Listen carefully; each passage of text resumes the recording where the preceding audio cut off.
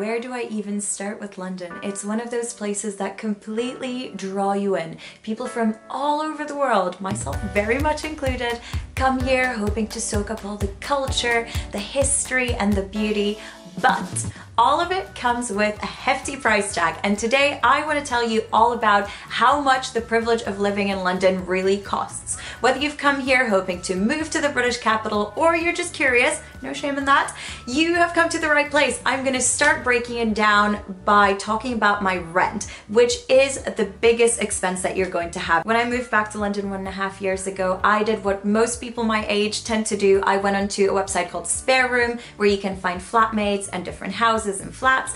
And I did just that. I found three housemates and together we rented a place in the London Borough of Southwark, which is in southeast London, and we rented a four bed house. We are in zone two, which means we're quite close to central London. We have the overground nearby and loads of space. Now we're no longer straight out of uni, so we were happy to splash out a little bit more than we might have been in the past. So my rent comes to 800 pounds a month. To give you a bit of an idea what different kind of money brackets can get you, I've pulled a few examples. This first flat is in zone 2, so relatively central, and you can get this room for £475 a month with bills included. Next up is this more spacious two bed house in Stratford for 750. It's a bit further out, but it's an up and coming area, very well connected. It has the Olympic Park nearby and the Westfield Shopping Centre. This third one is a studio in Peckham. It's in zone 2 and close to an overground station, but you can see that living alone is expensive at £1,000 per month, and the place is really quite tiny. Final example, here's what paying £1,841 per month could get you. It's a really beautiful modern house, but considering how much you're paying, you don't get a huge amount of space. So that's it, 800 pounds on rent, bearing in mind that you can pay a lot less and definitely, definitely a lot more. Next up, let's move on to bills and utilities. Number one, you've got water, which comes to about 10 pounds a month. Then you've got gas and electricity, that's about 10, yeah, 10 pounds a month as well. And then finally, you've got internet. For us, we pay £44 a month for fibre optic Virgin Internet. This next expense is very UK and London specific, and that is council tax. Council tax is money you pay to your local council, I know, right? In order to provide vital services like taking out the bins and uh, funding libraries, keeping the streets nice and tidy. On the government website, if you type in your address, you will be able to see how much you pay and also how much other people on your street pay. And this depends on the value of the property. Another very British custom is paying for a TV license. Anyone that owns a TV in the entire land has to pay this fee and the fee comes to 159 pounds a year, which I think is pretty steep. And finally, the one thing that we pay for here at home that is a bit of a luxury. We have a cleaner that comes in every fortnight. Although that sounds like a really indulgent thing, it comes to 25 pounds per person per month. So to me that is totally worth it. But there are financial benefits to living in the UK as well. Chief among them, the NHS. You don't have to pay for private healthcare on a monthly basis. The state takes care of it for you. Now there are things that are taken, things being money here, that are taken out of your paycheck every month, but once that is taken care of, you don't even get the money so you don't feel like you're parting with it. That's it.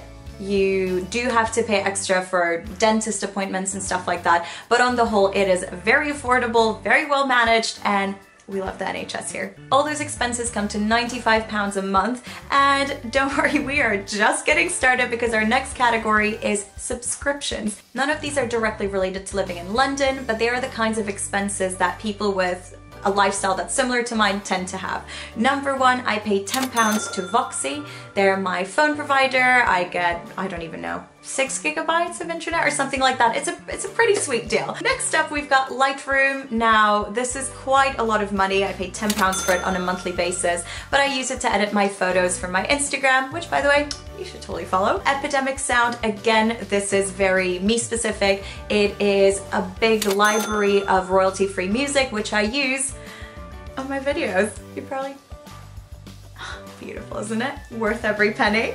Next up, we've got email hosting. Again, very specific to me. I pay £4.60 for this. It's called the Google Suite. Next up, we've got two wildly unnecessary ones, but a lot of us probably have them, and that is A, a Netflix subscription, which in the UK costs £9.99, and then a Spotify subscription, which costs $8.99. These prices, by the way, vary based on where you are. So for example, my parents in the Czech Republic pay a lot less money than me. Um, what I'm saying here is if you have a card and an address in another country, maybe think about it, okay? I'm not saying, I'm just saying three more left. I've got website hosting, which costs me £7.20 every month. Again, a very me expense. Then we've got iCloud, which um, I just pay to boost my storage to 200 gigabytes, and that costs me £2.49. And finally, something that for me is like a really nice to have that I could drop if I had to is online language classes. I take classes on a website called italki. It is super useful. I've mentioned it in basically all my language videos. I have left a discount link in the description below if you want to check it out. One more that I should mention that I'm not paying for currently, but I hopefully will once we're out of lockdown is the gym. So I used to go to a local gym that is actually extremely affordable and it costs £22.99, which is kind of wild, especially in London. My subscriptions come to £85 and 27 pence every month, which frankly isn't great. So maybe doing this video is gonna be really good for me. Maybe it's gonna force me to reevaluate my budget. In fact, I already am, and I feel terrible. Our next category is travel, and this has obviously been deeply impacted by all the lockdowns we've had over the past year, but on a regular basis and the life I hope will return to someday, I would buy something called a monthly travel card. I typically get a zone 123 travel card and that costs 167 pounds and 10 pence. So it is not cheap and if you do want to lessen the burden of traveling on public transport, one thing you can do is stick with buses. Now it will require a lot more time and a lot more patience because they tend to have a fair few delays, but here is the math. If you travel by bus only, you will pay £4 and 65 pence per day, which adds up to 87 pounds and 60 pence per month. Now, if you have a car, we're moving on to the opposite side of the spectrum, that will cost you a lot of money. And I'm not just talking about the upkeep and the insurance and the gas. I'm talking about physically going into central London. We have something called the congestion charge and it adds up to 15 pounds per day. Our next category is a big one, food. Now I say it's big not because it necessarily needs to cost a lot of money, but because there's so much variability. For example, some people will be very content just getting the basics, cooking at home, and that's it. And that way you can save a ton of money. But if you're uh, like me, for example, sadly, you might end up spending a lot of money on this. I have put together all of my shopping for the past month. The total sum was 122 pounds and 52 pence, and that's just on groceries. I then proceeded to add up my takeaways, and obviously currently I'm not eating out in restaurants, but if we weren't in lockdown, I suspect I would be spending even more because when you go out to a restaurant, you might get a bottle of wine, etc. We all know how it is. I spent 87 pounds and 70 pence on takeaways last month and I should point out here that it was February which is a much shorter month so I don't even that brings us to a grand total of 210 pounds and 22 pence for food which yeah is not great but it is what it is. When in lockdown, sometimes you just gotta treat yourself. And um, I do want to point out here that obviously your bill for food can be just so much lower. It could literally be half that if you really, really stuck to a budget. Okay, we're gonna talk about salaries and how affordable London really is vis-a-vis -vis how much you make in a bit, but before that, I wanna finish with my last category, which is just other. They're these random expenses that you have on a monthly basis. They can be clothes, they can be I don't know, medicine or skincare. The grand total was 76 pounds and 44 pence for my other spending. Okay, and now the moment we've all been waiting for, the grand total. I don't really want a drum roll for this, but let's have one for dramatic effect. My, my hands are sweating. I mean, this is gonna be terrible. The grand total is, is 1,434 pounds and one pence. Oh dear, that's, yeah.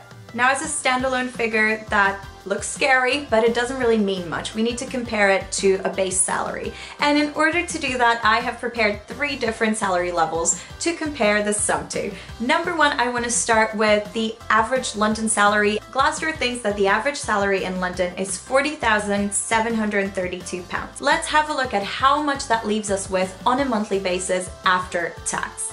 I just typed the numbers in here and here's our figure, £2,612 every month after tax. And now for the fun bit, let's subtract my monthly spending from this figure. What we are left with is £1,178, which frankly is pretty promising. That to me doesn't look bad at all. You still have plenty left over for savings, which I think is something that's very, very important. You always want to have an emergency fund in case the world goes bonkers like it just did. But there are many, many, many people in London working for minimum wage. The London living wage at the moment is £10.85 pence. Let's say we times that by 35, which can be the average work week for somebody who is working on that wage we get to a grand total of 19,747 per year. This annual salary will leave us with 1,422 pounds per month after tax. Let's take my spending figure and subtract it. And look what we're left with. We're left with a deficit of 12 pounds and 3 pence. Now, of course, if that was your annual salary, you would adjust your spending habits and you would cut out a lot of the luxuries. However, let's bear in mind the fact that I am single and I don't have children. There are so many single parents out there who do have to make this money stretch, not just for themselves, but for other people that they are supporting.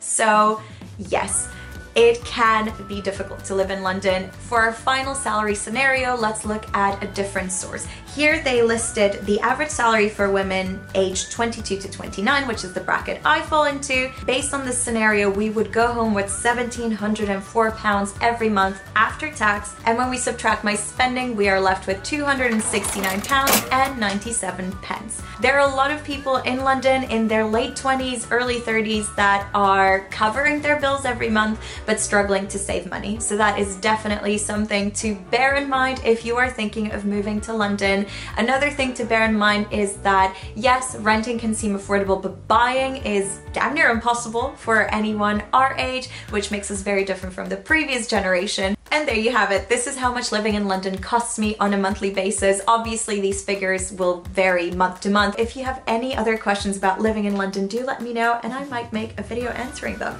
Thanks for watching and I put out new videos every Friday, so see you then. Subscribe.